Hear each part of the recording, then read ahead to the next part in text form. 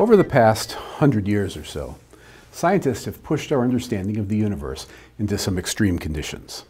For example, the world of the very small, the realm of very high speeds, and under the frigid conditions of near absolute zero.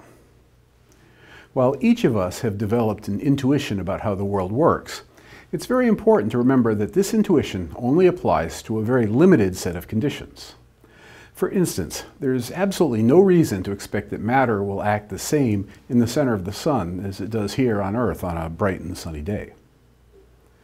However, that last statement is hard for some people to accept, and judging by my email inbox, the extreme realm that causes people the most difficulty is what happens when things are going super fast.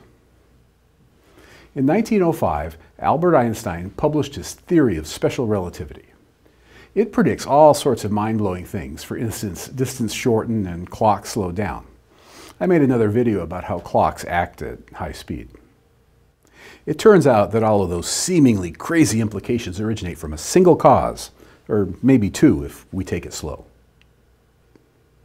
So first, let me tell you what this video isn't. It doesn't tell you about the postulates that Einstein used to build his intuition, and it certainly doesn't derive his equations. Instead, this video tries to tell you the key insights that make it easier to develop a relativistic intuition. I hope to teach you why it isn't possible to go faster than the speed of light. If you're not a physics groupie, hearing that there's a maximum speed in the universe might surprise you, but it's true. And if you are a groupie, you've probably heard that the reason that you can't go faster than light is due to the fact that mass increases when you speed up. It turns out that the explanation of mass changing as you go faster is a wrong one. I know that statement is going to confuse some people, including those with fairly sophisticated understandings of relativity, but it's true. However, that then leaves an open question. Just why is it that you can't go faster than the speed of light? It turns out to be due to a combination of a deep and fundamental property of the universe and fairly simple geometry. So let me explain how that all works. The first of the two crucial insights is that Einstein taught us that space and time are not separate entities, but rather they are two components of a bigger idea called space-time. I'll give you a helpful visual way to think about this in a moment, but for right now, just trust me on this. Then we need to combine that insight with the observation that everybody sees the speed of light to be the same, no matter how fast they're moving with respect to one another.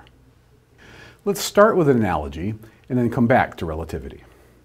To understand the analogy, you need to imagine a car driving on a huge flat surface. Further, you need to imagine that the car can only move at one speed, say 60 miles per hour. Or, so the comments don't fill up with metric snobbery hate mail, 100 kilometers per hour. Now, let's put a couple of arrows on the screen to point out north and east. While we know the overall speed the car is going, we don't know how much of it is in the east direction and how much of it is in the north direction. So let's take a closer look at that. The car can move entirely in the eastward direction, which means that it has no motion in the northward direction. Or the car can move entirely northward and not at all eastward. Or we can live dangerously and move towards the northeast. In this case, we see that the car is moving in both the east and north directions, with neither direction getting all of the motion. So that's the core analogy, and hopefully it's very clear. Now, let's bring in relativity. In relativity, we don't have the east and north directions. Instead, we have space-time. Let's imagine that the horizontal direction is space and the vertical direction is time. So suppose that there is a single and fixed speed that we can travel through space-time. This happens to be true, so it's not a ridiculous supposition. We can therefore mix these ideas with our earlier analogy. An object can move vertically, in that case, they're not moving through space and they're moving entirely through time. That's probably what you're doing right now. You're sitting and watching this video, so your position in space isn't changing. However, you are experiencing time. You aren't moving through space, but you're moving through time. On the other hand, what happens as you start moving through space? That's a fancy way to say that you gain some velocity. Well, we see here that what starts to happen is that as you begin to move through space, you move less through time. And eventually, when you move only through space, you don't move through time at all. And this is basically what relativity says. As you move faster and faster, your clocks slow down.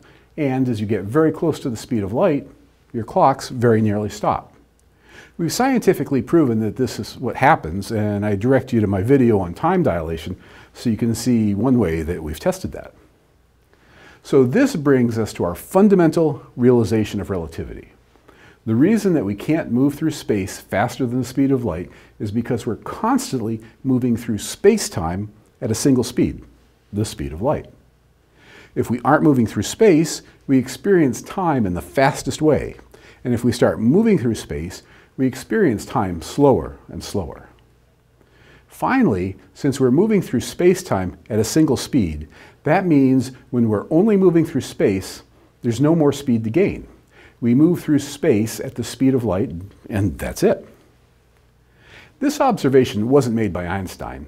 It was made by his mentor, Hermann Minkowski. Minkowski was one of Einstein's mentors, and he was a better mathematician. Two years after Einstein's seminal 1905 paper, Minkowski appreciated the geometrical underpinnings of special relativity and had determined this deep and fundamental explanation why we can't travel faster than light through space. There are two final important points. First, while Minkowski showed why light speed is the maximum speed through space, what he didn't explain was why we move only at one speed through space-time. To this day, nobody really knows. It seems to be a fundamental property of space-time.